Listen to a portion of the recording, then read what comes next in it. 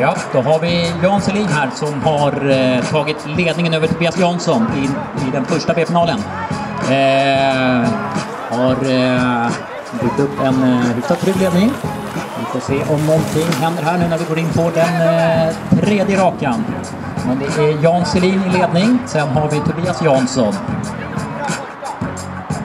Och eh, vi är på väg in på sista rakan och eh, Jan Selin håller ledningen.